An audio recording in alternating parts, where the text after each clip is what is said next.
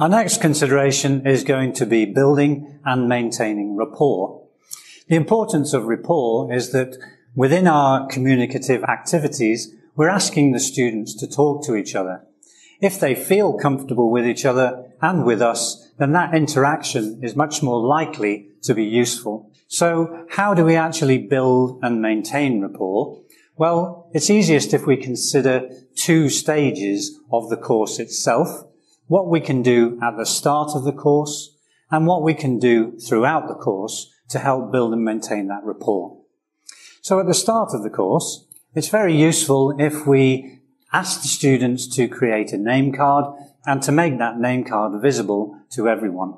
Secondly, we need to try to do some ice-breaking activities that will allow the students to interact with each other and perhaps give a little bit of information about themselves.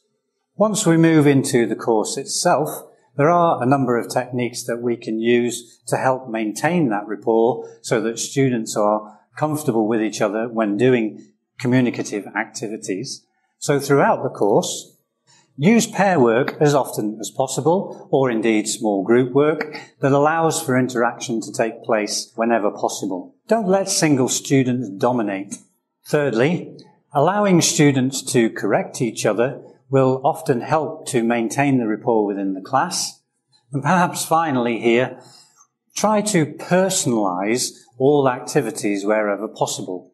Quite often you'll be taking activities from course books and if those course books, if you take the activity and white out the names of people given within those activities, substitute those for the names of the people in your class, so you have personalized it for your class, then that will help to build and maintain rapport within the class.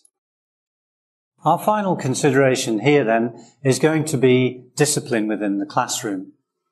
From your own experiences at school, you will know that some teachers have more discipline problems than others. Now there are no set rules which will work for all situations that you find yourself in, but there are some things that we can do to stop problems arising in the first place. One of the major causes of problems is when students do not respect the teacher. And there are some things that we can help to build and maintain that respect from our students.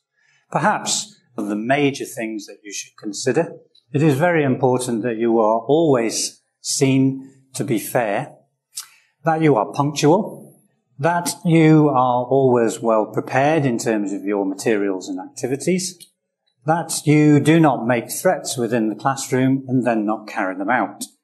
Also here, it's important that we show respect for our students in all situations.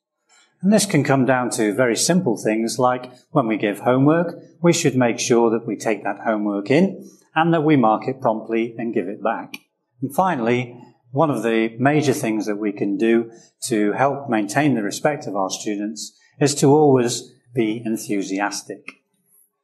Our final consideration here, in terms of discipline, is going to be your response to problem behaviour. Your responses are actually critical as to whether the problem is going to be increased or decreased. Here's a few simple things to remember in terms of your responses to discipline.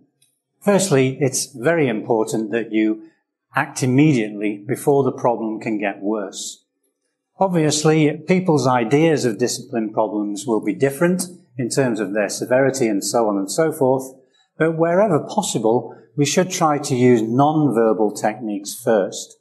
If, for example, two students are talking to each other while you are talking, then just stop. Look at those people who are talking, and it's very unlikely that they're going to continue to do so.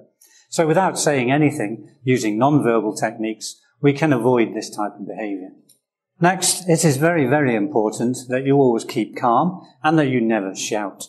From your own experience, you're probably aware that there's very little to be gained by shouting. Make sure also that you keep within the school discipline code.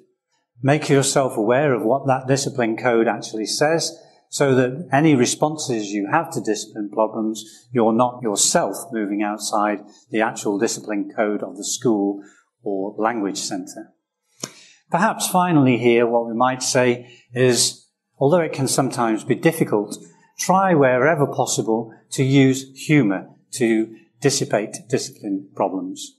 It would be very nice if we could just give a list of things that you would need to do in order for you to never have any discipline problems in your career, but that list does not exist. Most of your responses to discipline problems will be learnt over time. You will find out what works and what does not work. But when you first start, if you keep these sorts of ideas in your mind, then it does mean that discipline problems shouldn't escalate.